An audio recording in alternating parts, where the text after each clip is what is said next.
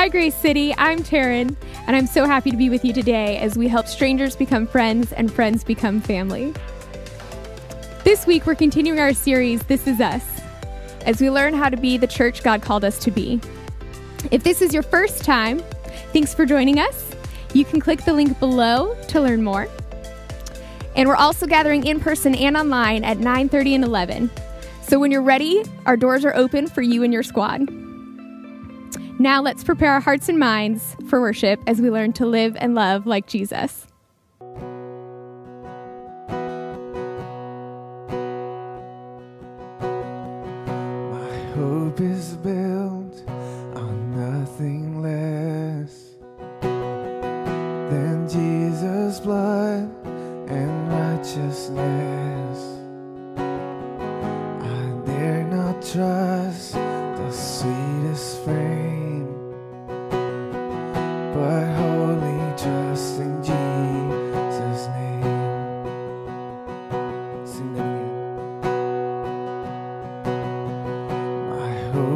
Hope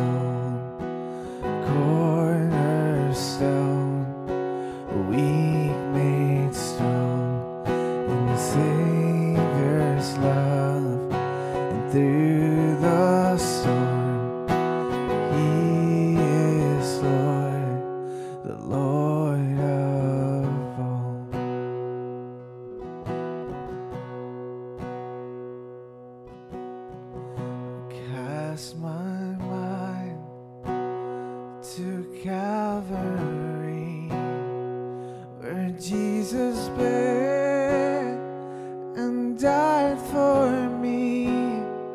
I see his wounds, his hands, his feet, my Savior.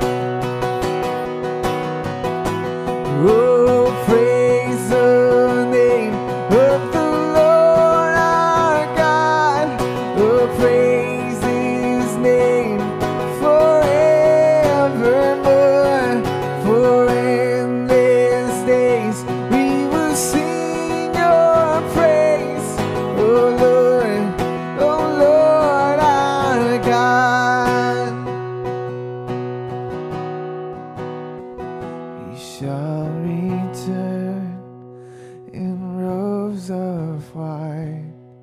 The blazing sun shall pierce the night, and I will rise among the saints. My gaze transfixed on Jesus' face. Come on, sing no praise. Oh,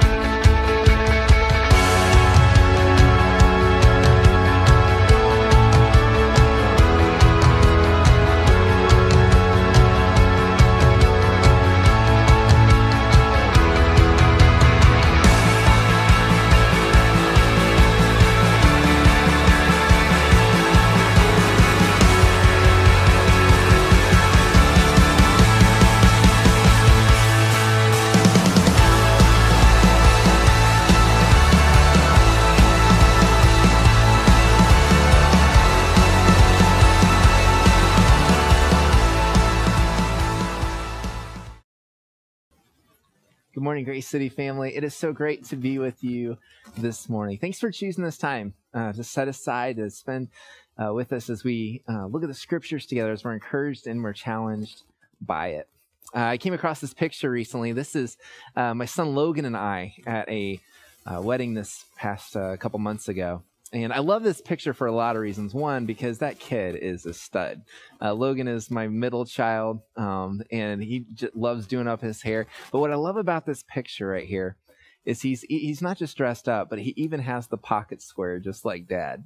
I mean, that's just one of those little details, and I love when my kids want to dress up and be just like their dad. There's something really cool about it. It just feels awesome to know that my kids want to be like me. And one of the things that Steph and I have as responsibility as parents is to teach our kids how to act, how to speak, how we do things.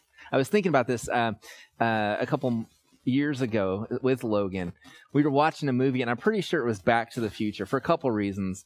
And one is that's one of our favorite movies, and we watch it quite frequently. Um, but we were watching Back to the Future, and I mean, it's a great movie. You got the flux capacitor, 88.8 miles an hour. Johnny B. Goode, and yes, Johnny be very good. Um, and we were watching this together, but it wasn't the TV edited version. And we didn't realize at the time. And if you've ever had one of those situations where you watched a movie and then you watched it with your kids or your parents or whoever, you start noticing things.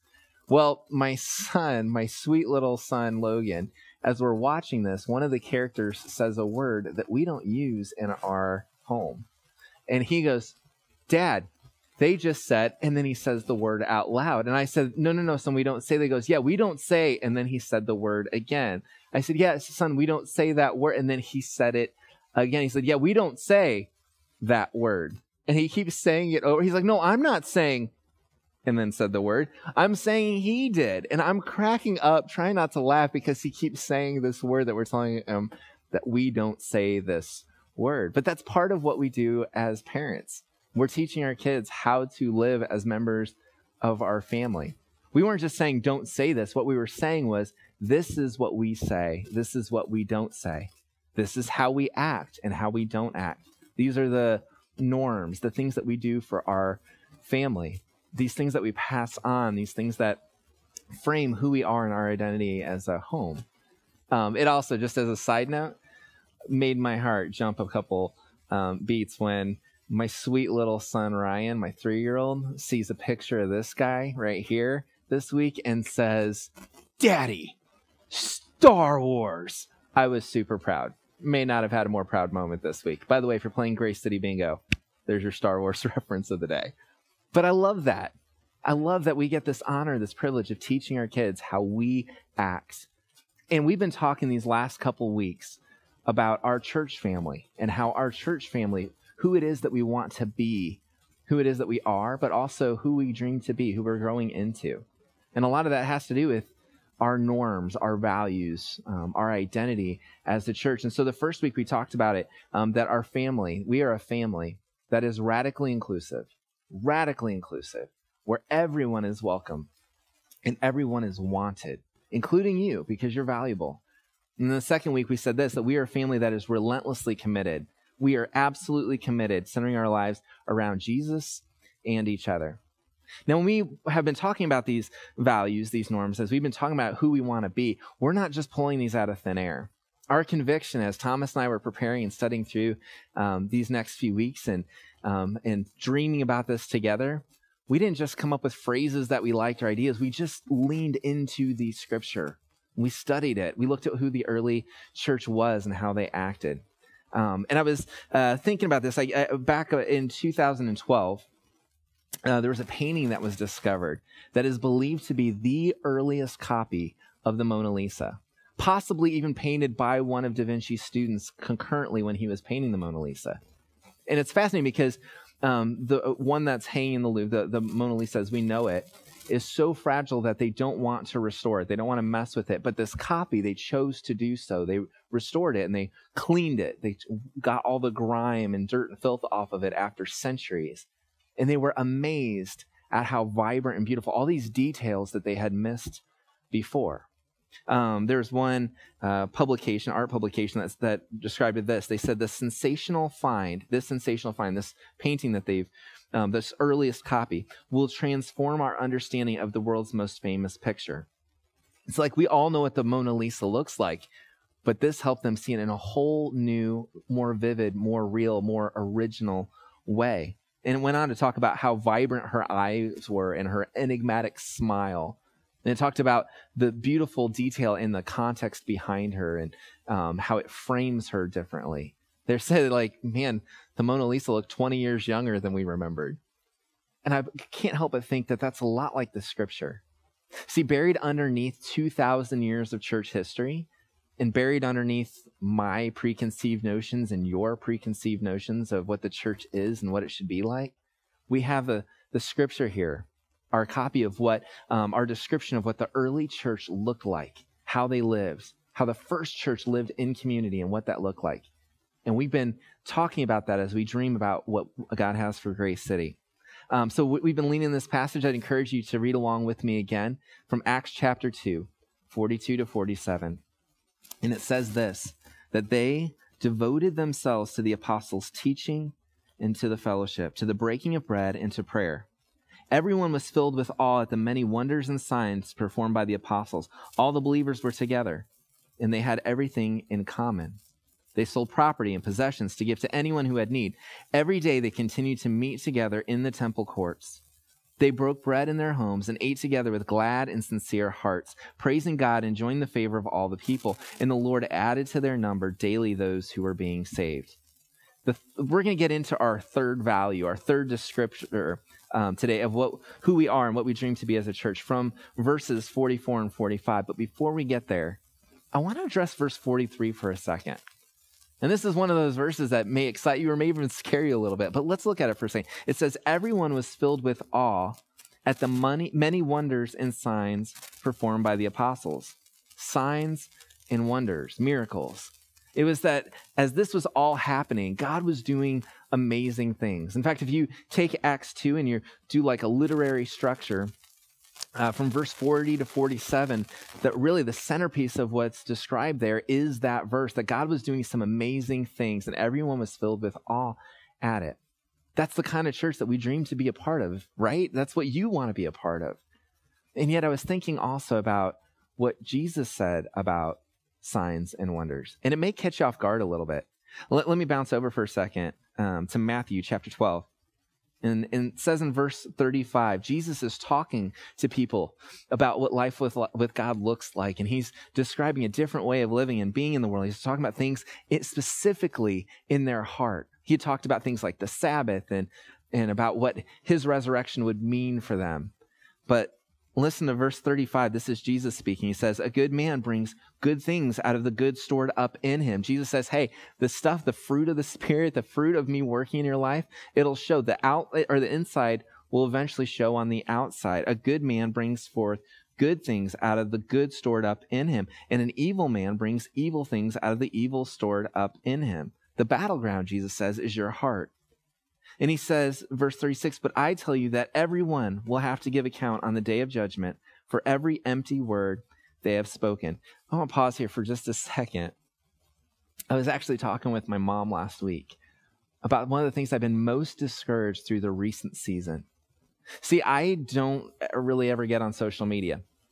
I, I, just don't. I don't have my own Facebook, but sometimes I get on my wife's and she'll say, Hey, you should check this out. But it's been different. The last month, just because of everything been going on, I've actually looked more. I've been on Facebook probably more in the last month than the last several years combined. And I told my mom I'm unbelievably discouraged. She said, Why?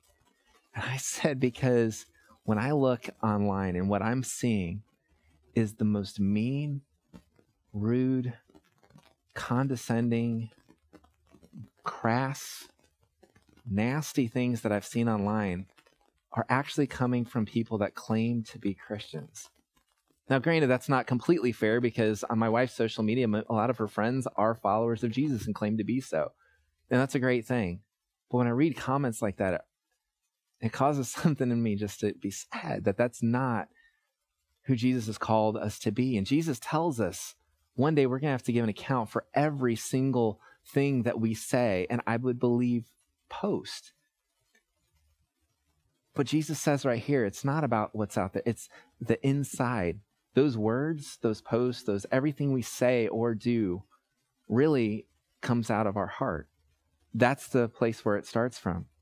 And so he continues on in verse 38. He said, Some of the Pharisees and teachers of the law said to him, Teacher, we want to see a sign from you. And he answered, A wicked and adulterous generation ask for a sign, but none will be given it except the sign of the prophet Jonah. Say, wait, what's going on here? I thought signs were good things, right? I mean, it was talking about the new, this first church in Acts 2 that they had many signs and wonders. Isn't that something we should aim for? Isn't that something we should be chasing after? And Jesus says, no. See, we love to be wowed. I, I remember all the way back when I was a kid watching this magician on TV. We had a little VCR tape that we had recorded a thing from David Copperfield, and I was blown away. This guy had um, uh, a leather jacket and, and, crazy cool hair, and uh, he was doing stuff on waterfalls, or his motorcycle was disappearing, or he was here then and there the next, or this person disappeared. He was doing all these tricks. He would had a card trick, and he invited me to play at home. And my brothers and I would go, and we would try to find every little. we would try to figure out the trick. We would rewind and slow mo and pause to try to figure out every single trick that David Copperfield did because we like to be wowed. There's something about magicians, right? I mean, whether it was Houdini or Penn and Teller or David Blaine, we love to be wowed. But what Jesus says here is basically if you're following me, you'll be wowed.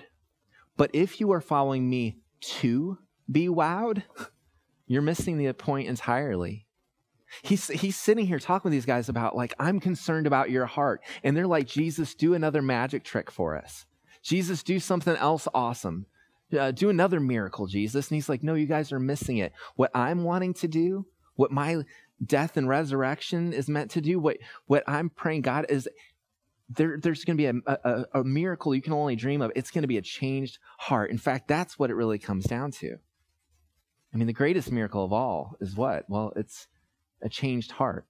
I mean, look at what Jesus says in Mark 2 9 through 10. Similar uh, situation. He said, uh, Jesus has got a paralyzed man here and he's going to go heal him. And he also says he's forgiven. And there's some debate like, well, well, which one's, listen to what Jesus says. Which is easier, Jesus asked, to say to this paralyzed man, your sins are forgiven? A changed heart, or to say, get up, take up your mat, and walk? Which is the bigger miracle, Jesus says, like what, that that, that, that, that he's healed physically or that he's healed in here. And he says, But I want you to know that the Son of Man has authority on earth to forgive sins. That's the big miracle. So he said, The man, I'll tell you, get up, take up your mat, and walk home. He said, Yeah, this supernatural thing that's going on, it's pointing the fact that I can change hearts. There's signs meant to point to that.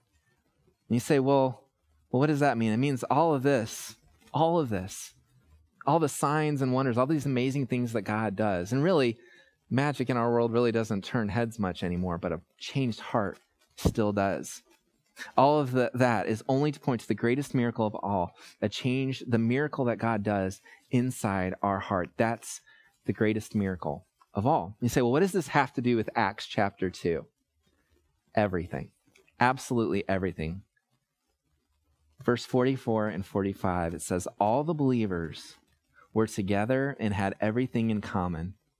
They sold property and possessions to give to anyone who had need. Can you imagine a more amazing change of heart for God to create people to be so generous that it looks like that, a church that looks like that, hearts that look like that?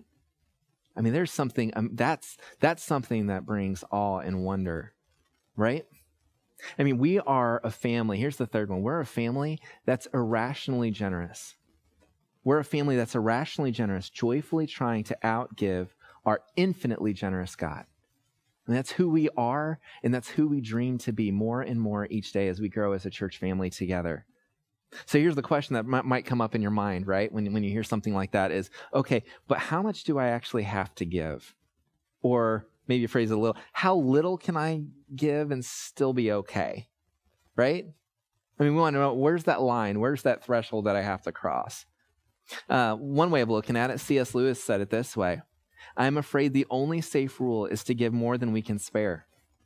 If our giving habits don't at all pinch or hamper us, I should say that they are too small. There ought to be things we want to do but can't because our giving expenditures exclude them. He's, Lewis says, man, we should want to give that it actually cause that generosity, that impulse actually causes us to sacrifice. something on our end. It's not really generous unless we're sacrificing. But I want to look back at the text because I think there's maybe something else we missed in this.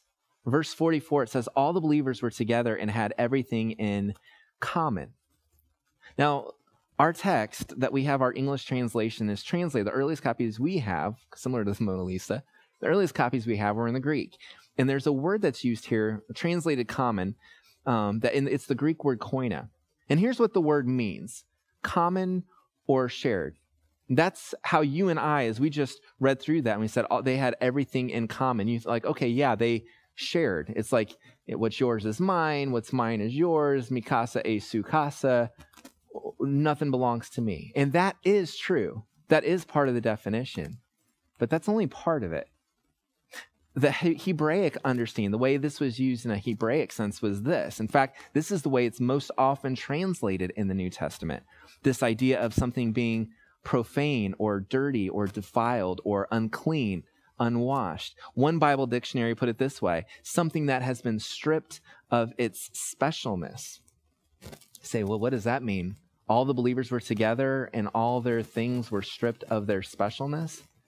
Yeah, that means is that things that they used to think were so important to them really weren't as much anymore. I mean, my money, my stuff, my home, my all my possessions, all my belongings suddenly have lost their luster. They have slowly faded and dimmed because my heart is growing bigger and bigger for the people that God has been bringing my way. I value them more, so I value that stuff less. Um, I referenced this last week, this uh, from this commentary by F. F. Bruce. Believers were so near the cross in the resurrection and so filled with the Spirit that for a while selfishness was completely swallowed up in love. What's amazing too is if you look at church history, in the picture of the early church, is their generosity wasn't just limited to each other. And in fact, uh, here's a pic of a um, a Roman emperor. This is Julian the Apostate. Now, Julian the Apostate uh, was was in, in um, he was active right as Christianity was beginning to really explode, that this movement of Jesus followers was was catching fire and people's lives were being changed, and he was uh, totally against it. Ben Johnson describes his tension. He says Julian tried to use all of the powers of the state to launch a pagan revival he organized a parallel pagan priesthood based on the church's uh, model. He tried to use legal mechanisms to deny Christians their recently acquired equal rights. He's like, well, we have to fight for our political rights. He, and he was like, the system was against them, right? But he saw one obstacle, one thing that he could not stop, above all, preventing a return to the old ways, and that was simply this Christian charity. Christians being radically generous, irrationally generous. In fact, we have a letter that Julian wrote during this time period. And here's what, what Julian the Apostate said. He said, It is disgraceful that when no Jew ever has to beg, and the impious Galileans, these Christians, support not only their own poor, but ours as well, all men see that our people lack aid from us. What he's saying is, hey, guys, we got a problem here. Not only are these Christians being overwhelmingly generous to each other, but they're actually giving to our people in need, and it's making us look bad. I mean, what a great problem to have when Christians are so generous that it causes a stir, that people take notice. Um, Demetrius uh, uh, Constantelos said this Christianity during this time destroyed all cultural boundaries limiting charity, extending to the underprivileged as it proclaimed freedom, equality, and brotherhood, transcending sex, race, and national boundaries. Thus, it was not limited to equals, allies, or relatives, or to citizens and civilized men, as was most often the case in other ancient societies. What, what, what this um, Constantelos says is Look, you want to know what made Christianity so unique? Was that. That overwhelming generosity. The miracle that God had changed hearts to go from being so selfish to so selfless that they cared about others more than their own stuff. That crazy generosity for everyone, regardless of their race or their occupation or their nationality or whatever it was, none of those things mattered anymore. That person was made in the image of God, and Christ Jesus had died for them, and that person was more important than any of their possessions, their, their belongings, or even their life. That was radical. A few chapters later, we read this Acts 4 32 to 35. It's this just kept going. All the believers were one in heart and mind. No one claimed that any of their possessions was their own. They shared everything they had. With great power, the apostles continued to testify to the resurrection of the Lord Jesus. And catch this and God's grace was so powerfully at work in them all that there were no needy persons among them. From time to time, those who owned land or houses sold them, brought the money from the sales, and put it at the apostles' feet, and it was distributed to anyone who had need. That is crazy generous, irrationally generous. And can I just point out that phrase again? God's grace was so powerfully at work in them all. I mean, that's who we are and who we are growing into as a church family. Not out of compulsion. This was not some coerced, uh, socialistic, whatever. This was a group of people whose lives were so wrapped up in the love of Jesus and each other that they with joy gave and sacrificed to care for each other. This is us. This is who we are. This is who we dream to be together. A church where, and I just jotted these down earlier, these thoughts, a church where my friends Robbie and Bill read to kids over at Triangle Elementary, and CJ, and Mike, and Haley, and several others mentor kids on their lunch breaks. Generous with their time. Um, a church where extremely generous businessmen and women help pay the down payment for our new home for a church. And equally generous single moms sacrificially give to make a difference as well, difference makers. A sacrificial church, a church where guys like uh, Zach and Toby and Caleb and David and Marcia give hours on end to create a space for us to worship and new avenues to be able to connect online uh, a church where countless members of our congregation drop off gift cards to help pay for each other's groceries during uh, this time of crisis. Uh, a church where my friends Ray and Jane go into homeless camps every week, doing their laundry for them and inviting them to a feast in their home for Christmas. that's irrationally generous my, where my friend Beth throws a community dinner for veterans who are hungry, a church where some of our ladies band together to sew masks to help others keep safe from this virus, a church where someone offers forgiveness and opens their heart to reconciling in their marriage. A church where people throw birthday parties for a friend who, they have never met. A church where uh, someone throws a wedding for someone who has never had a chance to celebrate. A church where my friend Barb, who has never been here, but recommends this church family because she says, and I quote, I've never heard him preach, but I know those people are generous and serve our community. That's who we are, friends. That's who we are, family. That's who we are growing into as a church family. To leave you with this 2 Corinthians 9 7. It says, Each of you should give what you have decided in your heart to give, not reluctantly or under compulsion, because God loves a cheerful giver. This is who we are. This is what we do, and we do it with joy. Thanks for being with us this morning. I pray that you, being rooted and grounded in God's love, would be so overwhelmed by it that as you continue to look at the cross of Jesus, his sacrifice for you, his resurrection, and the power of Jesus living in you, that your stuff would seem less and less important and that you would see Jesus in the eyes of every single person you come in contact with. Grace and peace, my friends. Love you guys. Bye.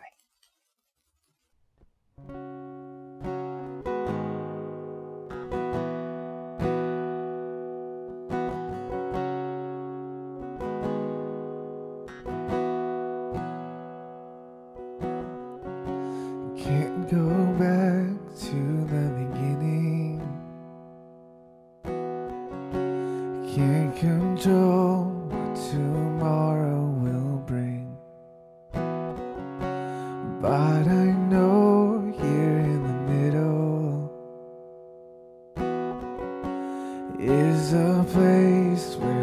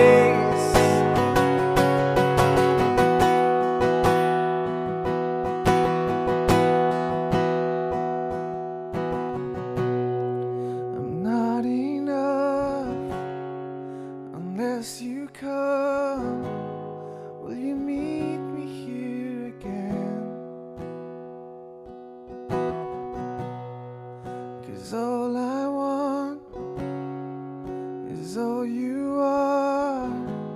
Will you meet me here again?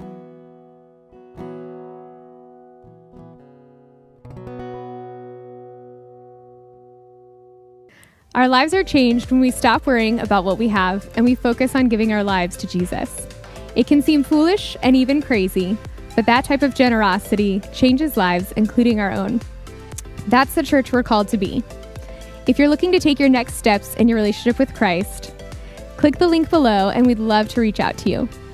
Now, whether you've been a family for years or this is your first time, we'd love to stay connected. You can follow us on Facebook, Instagram, or our website at wearegrace.city. For our family, thank you for your continued generosity during this unusual time. And for all of you, thank you for joining us this morning. And remember, grace lives here.